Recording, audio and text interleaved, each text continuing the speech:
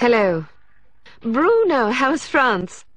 Did you collect any new bullet holes? I know how you love to be shot at. I'm teasing. I'm glad you're not damaged. Did you at least encounter an exotic temptress or two? Really? What was her name? What do you mean you don't remember? That's horrible. Of course, I'm famished. Are you buying? Then it's a date. Let's say Maximilian's in half an hour. Ciao.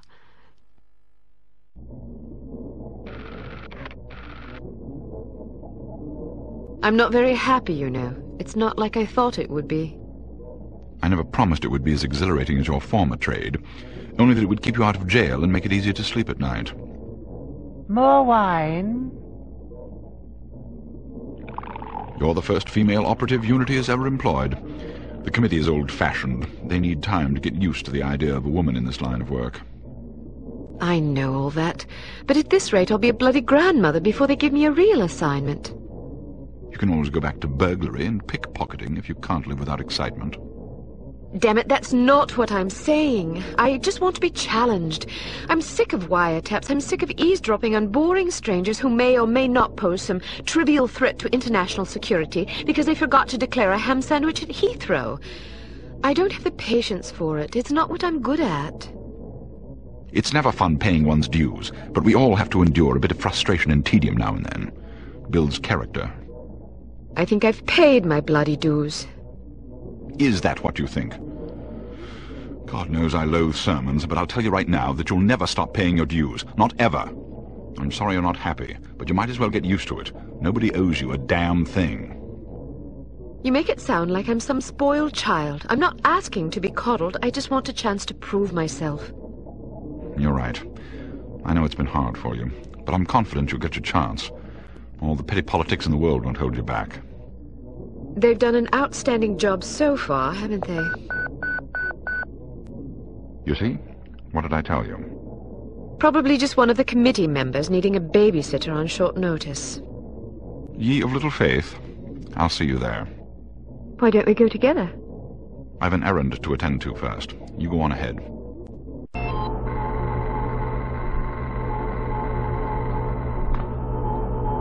Good afternoon, Miss Archer. They're expecting you in the briefing room.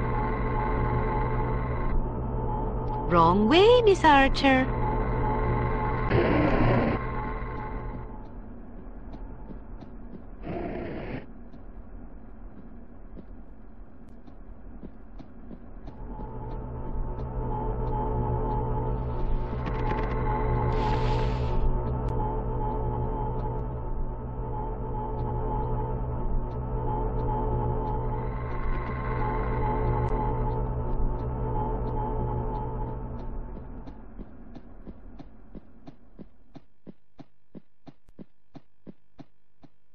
Agent Archer, how thoughtful of you to join us. I hope we aren't inconveniencing you too awfully with matters of international security.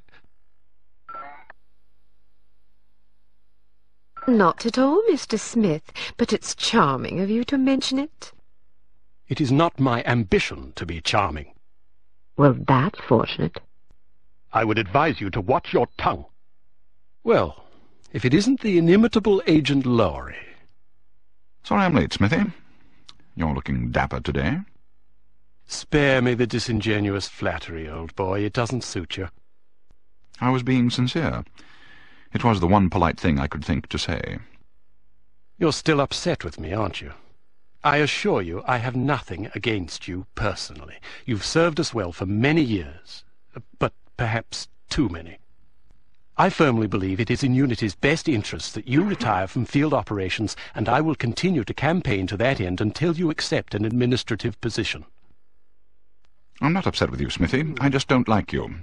I do understand your concern, but just because you're too old for the field doesn't mean that I am.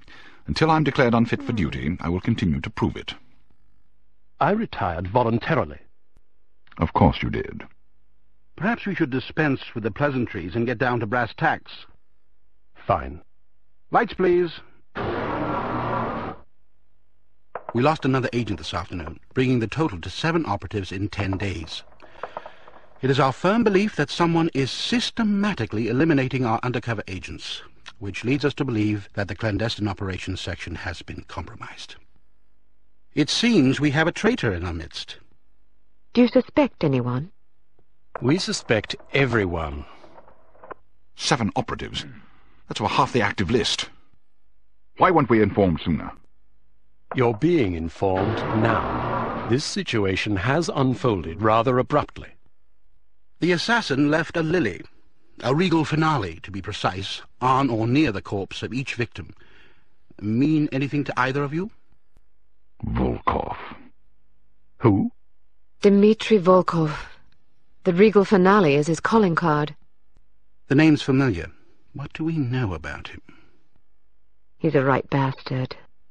Anything more specific? Just what's in his file? Born in Kamchatka in 1921. Distinguished himself as an academic prodigy and master chess player by the age of eight, by which time he'd also earned notoriety for refining various torture techniques on neighbors' pets. It seems he joined the NKVD in 37 and served as some sort of disciplinarian in a gulag near Kiev. His whereabouts during the war are unknown except for a brief mention in 43, when he was spotted by an OSS officer at Leningrad interrogating prisoners of war who would later disappear without a trace. Ah, yes, I remember this fellow. We've had dealings with him before.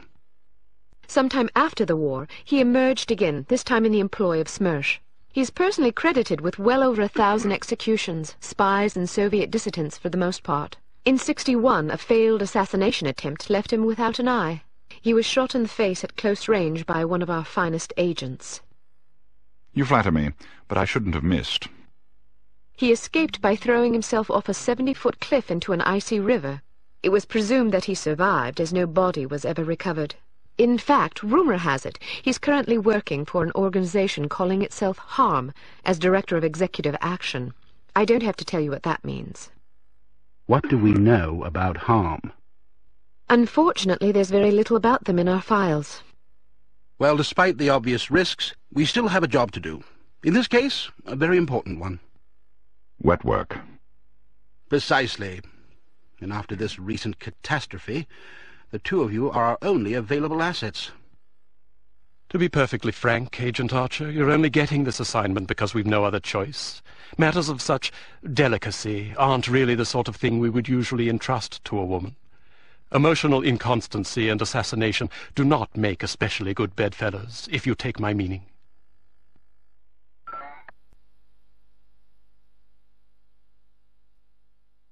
Implicitly. But you shouldn't be ashamed. Administration is a perfectly noble career. I don't think I like your tone. I believe what Agent Archer means to say, Smithy, is that she appreciates the chance, however fortuitous, to demonstrate her abilities as an operative, and that she'll endeavour not to disappoint the committee. Isn't that so, Agent Archer? Aye. That's not what it sounded like to me. Enough of this. Time is of the essence. Stop by the toy shop before you go. They've some new gizmos you might find useful. Don't dally too long, though. Your flight leaves at 6 p.m. Where are we going? Morocco. Agent Archer, uh, what does harm stand for? I haven't figured that out yet. See if you can't find out. And be careful, both of you.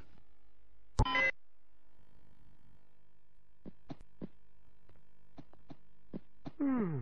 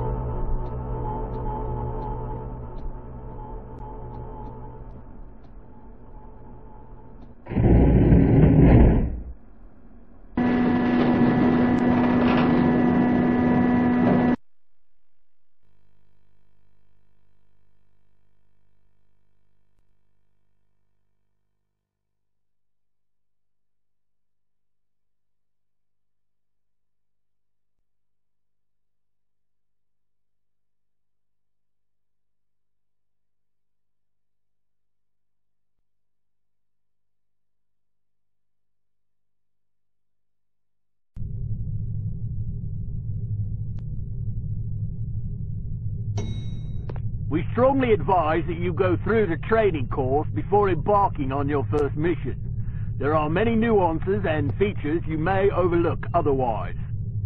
If you prefer to skip training, just head to the exit.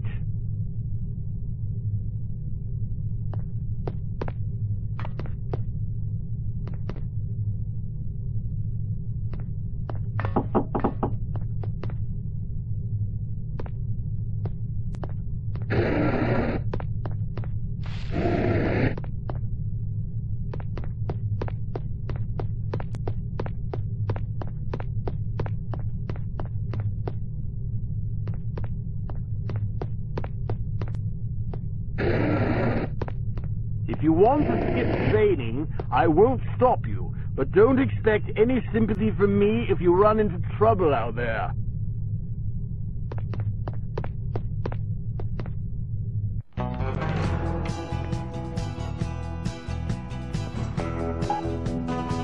Intelligence has discovered that the American ambassador to West Germany, Morris Monroe, is marked for execution by an organization calling itself H-A-R-M, or HARM. It is imperative that Monroe survive the attack. Be warned, though, that the ambassador is extremely nearsighted and almost deaf, so you won't be able to rely on him to realize that he is in danger. You will be positioned in a residential building across the street from the hotel. Your job is to pick off the assassins before they liquidate Monroe.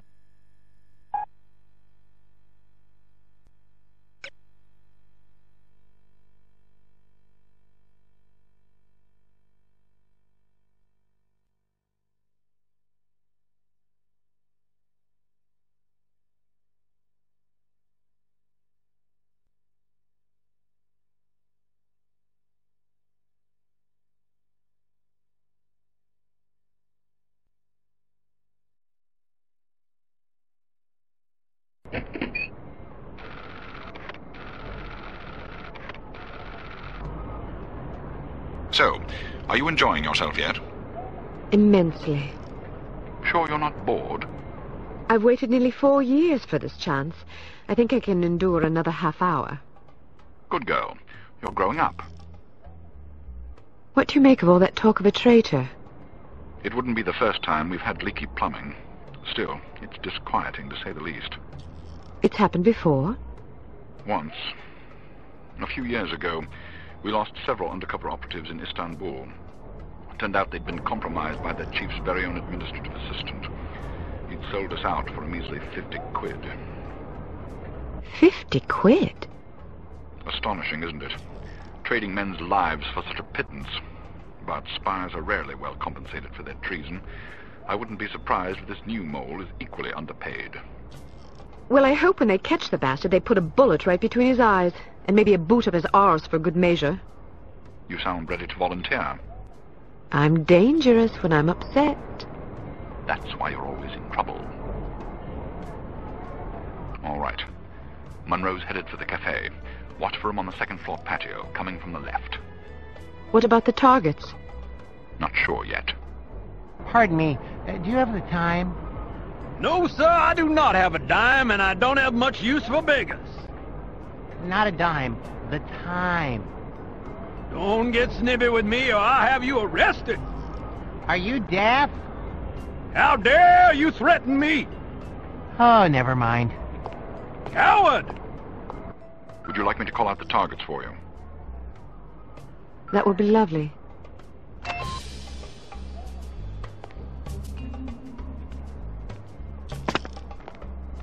To your left, on the far I want to go home.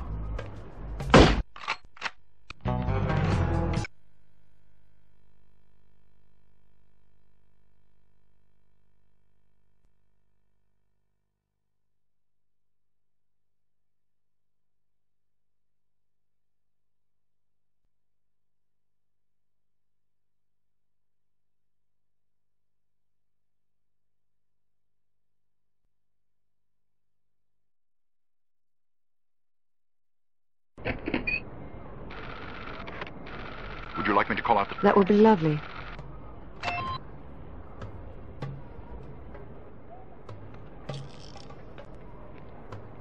On the roof to your left. I want to go home. But we've only been here for two days. To your left, on the far balcony. I don't like it here. On your left, coming out the door on the far balcony.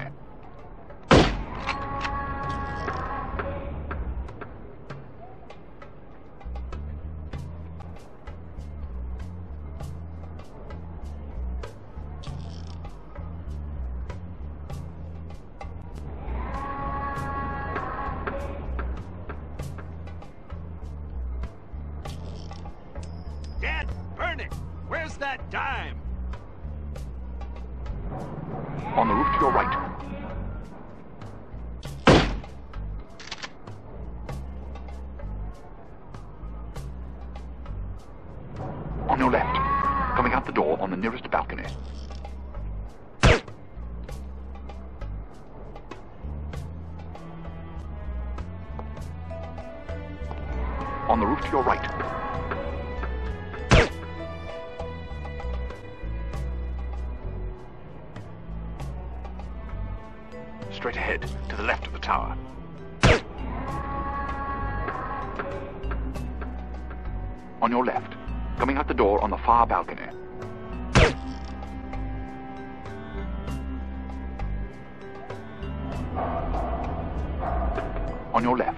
Coming out the door on the far balcony.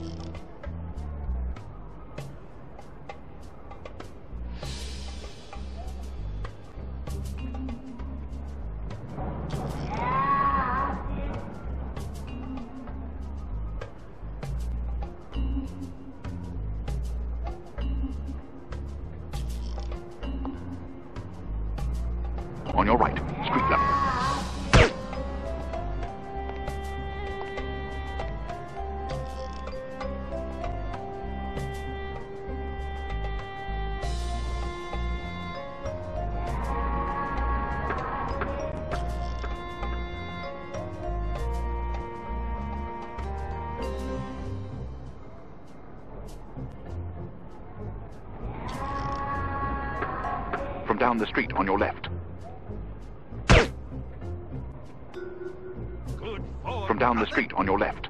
Derelict!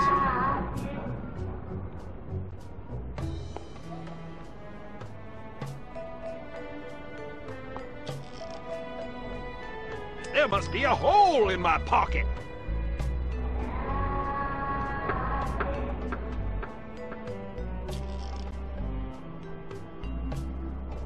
Coming out the front door of the hotel. Coming out the front door of the hotel. On your left, street level.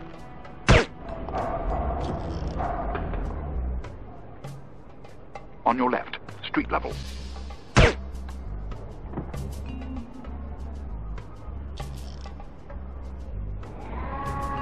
From down the street on your left.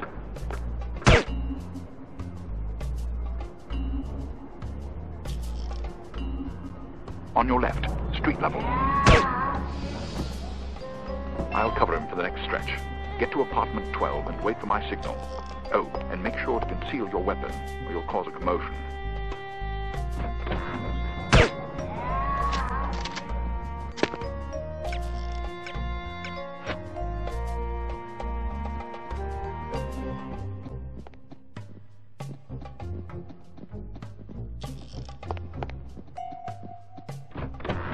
Heard he plans to marry the American girl. You mean the girl who refuses to wear shoes? Yes, her. I wonder if all American girls despise shoes. It seems very strange. America is a strange country. She may be crazy, but she is attractive. Ah, but you're invariably attracted to crazy women.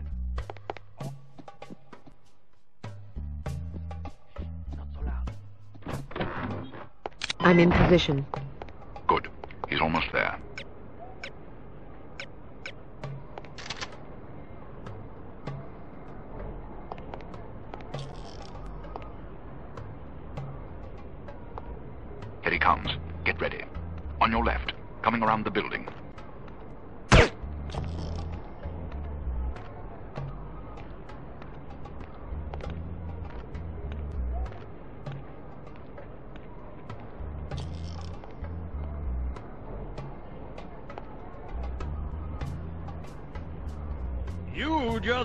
Just yourself a customer!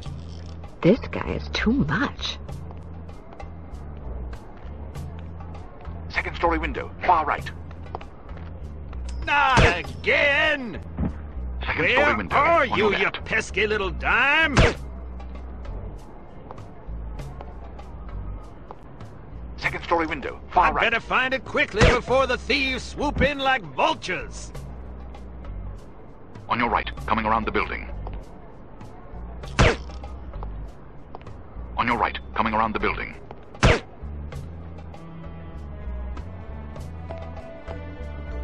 Second story window, on your left. Second story window, on your left. Second story window, far right.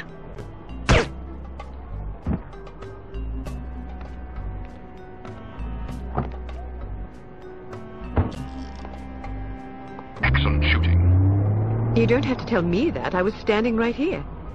A little humility might suit you. I'm teasing. We make a pretty good team. Damn, they must have spotted you. There's a group of thugs heading your way. How many? Looks like six of them. Can you handle it? Of course I can. I'll meet you at the hotel in an hour. All right. Take care of yourself. First, I'm going to take care of some evildoers.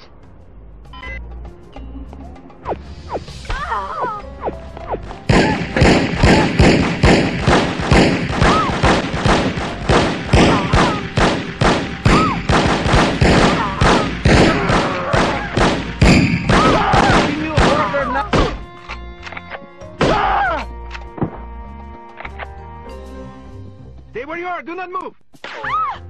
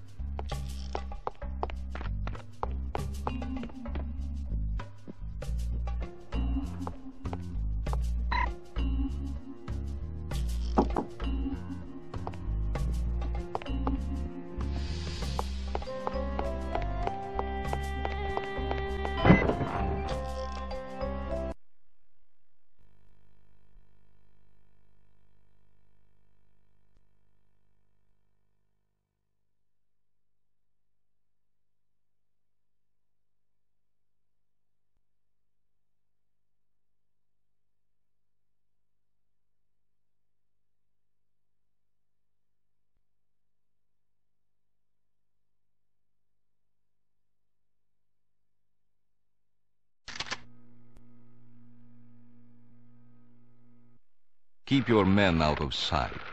We don't want to spoil our trap, do we? Yes, sir. I mean, no, sir. I mean, yes to the first part and no to the second part, sir. Shut up. Just do as I say, you idiot. You look like you need a monkey. Excuse me. I have a very fine monkey for you. Only $20 American.